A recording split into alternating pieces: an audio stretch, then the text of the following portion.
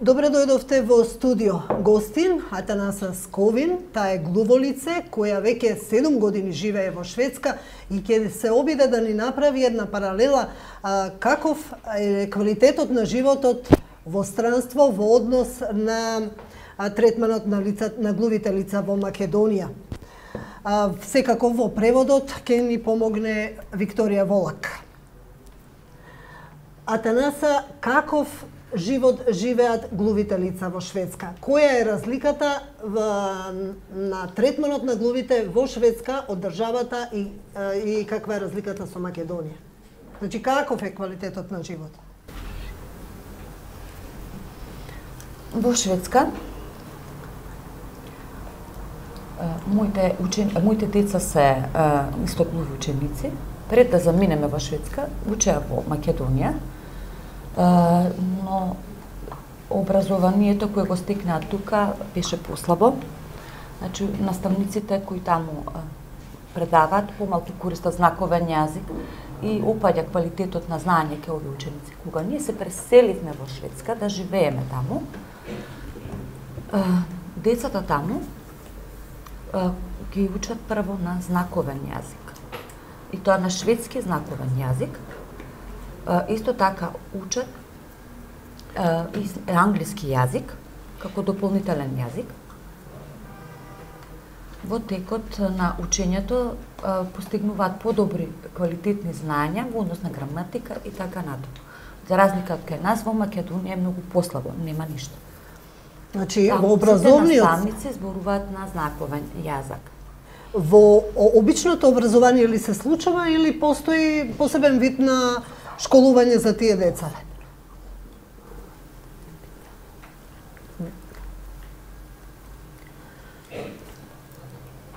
Да, во специјалните училишта за глуви mm -hmm. и наглови ученица и ученици кои имаат кухлярен платант учат заедно во една. Но сите наставници таму користат знаковен јазик. Во основното исто така, исто така и продолжуваат во повисоките степени на образование, значи како гимназија, каде што они се вмешуваат во редовни училишта. Така.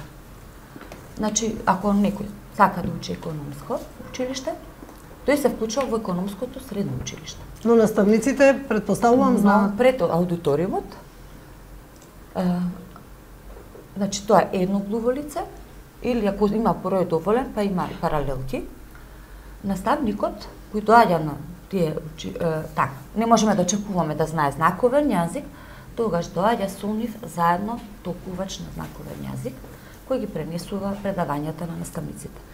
Исто така, таков е третманот и на оние кои поминуваат по високо образование, факултет.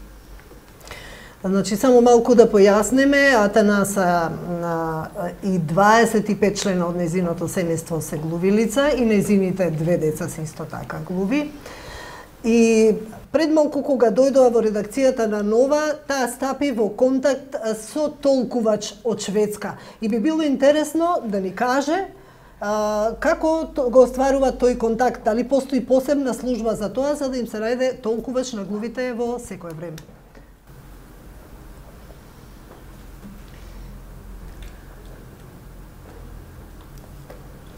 Овие помагала државата бесплатно да ги доделува на нас луѓите.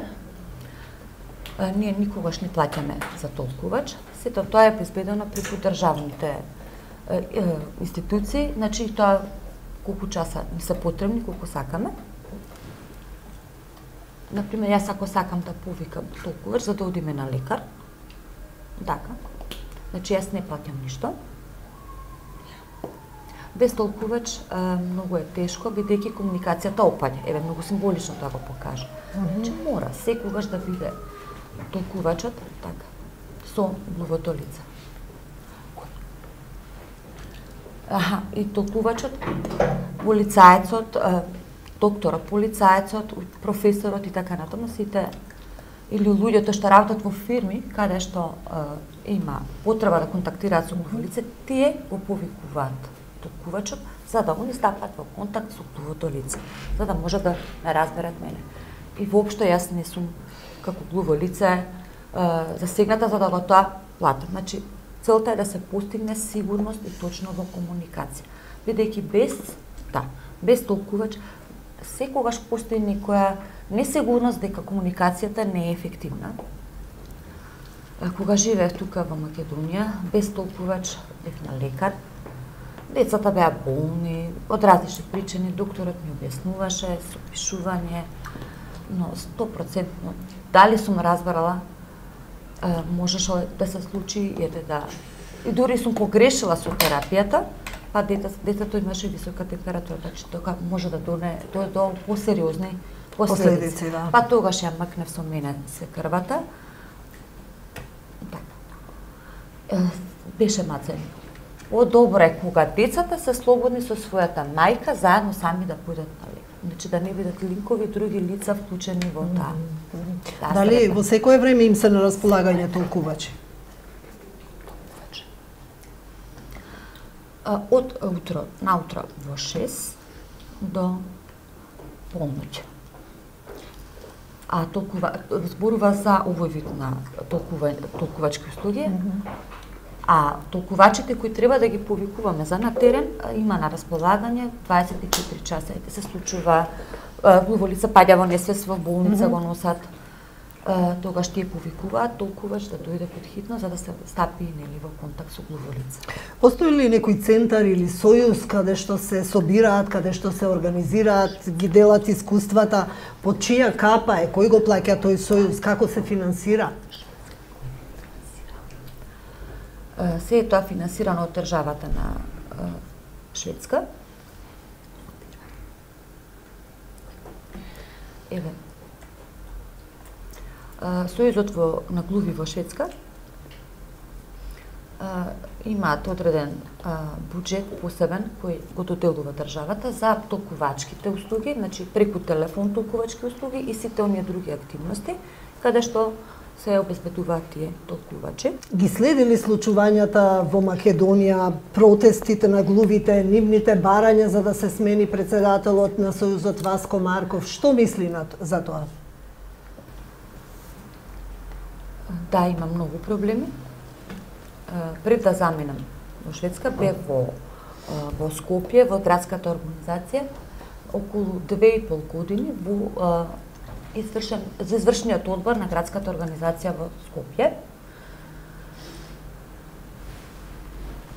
Учев, се посветував на тоа, но кога заминав во Шведска,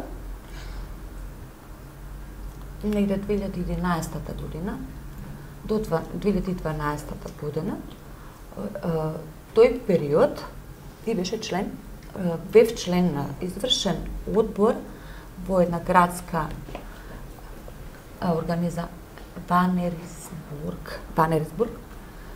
Бев член таму една година. Овие организации различно работат, сосема спротивно. Таму, например, кој ќе соберам еден фонд на пари, јавно се информира на извршниот одбор како се трошат приходи, расходи, така натаму. Јавно. Се е транспарентно. Исто значи. така, тоа се презентира и јавно на поголемо собрание, каде што се сите членови и сите гледаат и се информираат и додаваат некои промени. И оние промени кои ќе се случат, промени на закон и сите други информации, Сето тоа јавно се презентира, кажа навратно во презентација. Mm -hmm. Така. А тука, во Скопје, бев веќе бев две и пол години, немаше ништо. Например, се чита дневниот ред и се распленуваат точките, се расправаат и се и настануваат проблемите и не може да продолжи дневниот ред на неверет, така? Да, се она што се спремиле да се информираат, да кажеме, да информираме членството, се претвара во една расправи, дезинформација. Значи се мешат некои приватни работи, значи некои луѓе се меѓусебно нетрпеливи меѓу себе, па не сакаат да разговарат, но она што е службено за организација треба сме сите заедно, да функционираме заедно, да даваме заеднички предлози. Јас она што го гледам тука, Васко Марков се заканува кажува како што он смета, она што го за. Значи треба сите заедно да работат. Значи не може да да се изгласа, значи тој цело време а, а, превластува, узима власт, има власт. Јас кога дојдов, јас дојдов за да помогнам на глувите лица во Македонија. Како може да им помогне? како сакаш да за подобрување на подобра иднина на глувите во Македонија, за да им покажам ете какви се предностите во светот. Е, Баско, например, бил во конгреси, кога се посетил, видел многу работи, он треба тука да ги информира сите, тој само гледа за себе.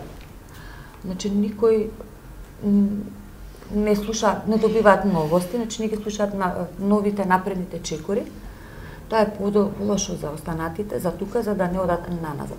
Јас доаѓам тука за да помогнам, за да информирам, за да бидеме поблиску да ја сакам Васко да замине. Подобре било кој друг, друг да дојде. Подобре друг да дојде. Предходно а, се обидував да контактирам со Васко, да му помогнам, да го информирам, но тој ме тргаше на страна. Има многу закани, а, преси,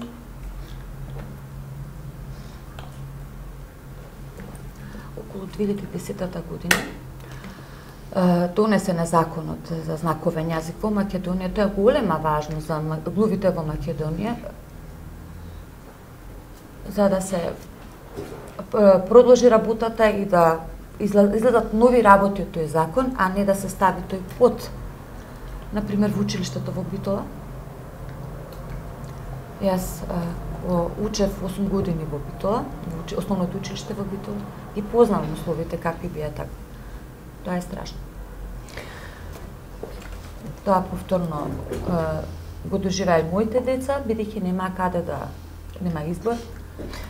Значи, има- Дали ова значи дека ја оставила Македонија, ја нашла Македонија во овој контекст таква каква што ја оставила?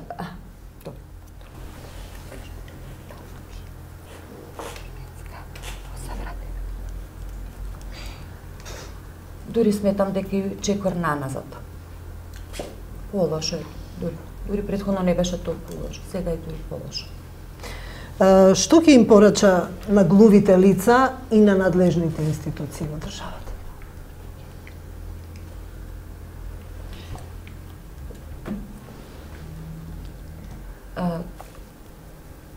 Јас сакам да ги контактирам Светската федерација на глуви.